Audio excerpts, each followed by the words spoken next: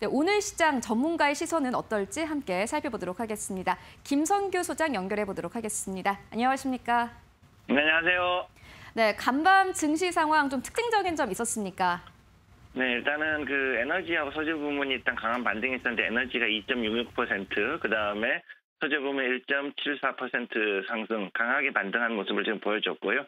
그 이외에는 오히려 조금 그 조금은 그 부진한 모습, 어, 생각보다 좀 많이 나가지 않거나 혹은 생각보다 많이 빠지는 그런 모습들을 보여줬습니다. 그리고 기술주가 특히 이제 많이 빠졌고요. 그 다음에 경기 순환주라든가 전기차 쪽 관련해서도 역시 약세 지금 보이고 있는데 특히 지금 그 바이든 행정부가 보이고 있는 반도체 쪽에 대한 그 강한 압박이라든가 아니면 이런 전기차 관련해서 특히 배터리 관련된 기술들을 어 상당 미국으로 자꾸 그 끌어올려는 이런 움직임들이 자꾸 보이게 되면서 우리나라의 관련된 특히 국내 반도체 관련된 하방 압력이 지금 굉장히 자꾸 높아지고 있고 그 다음에 이제 오늘 그 나왔던 이런 전기차 관련해서 배터리 공장 관련된 소식 같은 것들이 나오게 되면은 역시 우리나라에서도 이 배터리 관련주들이 약간은 어, 영향을 받지 않을까 일단 그렇게 보고 있습니다.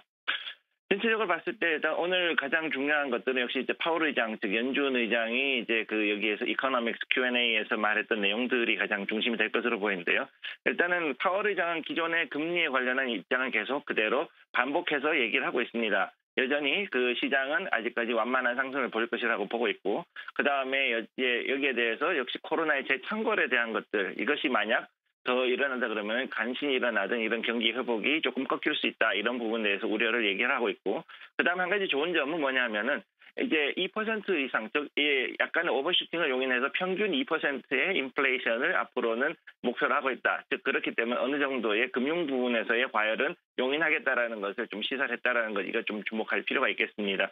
특히 이제 그 국내 증시 같은 경우는 여기에 대해서는 그렇게 큰 영향을 받지 않겠지만 그래도 어느 정도는 이제 미국에서 오는 그런 이벤트는 조금 줄어들 수 있겠다. 여기에 대해서 조금 의미를 둘 수 있겠습니다. 그래서 일단 국내 증시 영향 자체는 그렇게 크지 않을 것으로 보이고, 그 다음에 국내 증시가 이제 5월에 공매도가 재개됨에 따라서 요즘 들어가지고 이제 이번 주 특히 그런 모습을 보이는데 외국인들의 자금이 조금씩 조금씩 이제 들어오고 있거든요. 근데 만약에 이제 본격적으로 재개가 되는 시점에 즈음하면은 대규모의 외규, 어, 외국인 자금이 들어오지 않을까 일단 그렇게 예상이 되고 있습니다.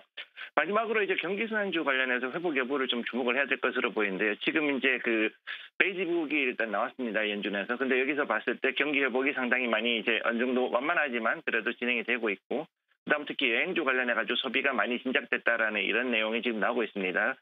일단은 여기서 봤을 때 경기 관련주 해가지고선 아, 이제 어느 정도 회복의 속도가 빨라지고 또 buy side들도 앞으로 이제 포트폴리오에서 그쪽으로 이제 좀 조정을 많이 할 것으로 보이기 때문에 그런 걸로 봤을 때는 앞으로 우리나라도 역시 경기 순환주도 여기에 대해서 먼저 회복이 될 수 있을 것이다. 일단 그렇게 보고 있습니다. 네, 국내 증시 영향까지 짚고 왔습니다. 지금까지 SC 글로벌 센터의 김성규 소장과 함께했습니다. 고맙습니다. 네, 감사합니다.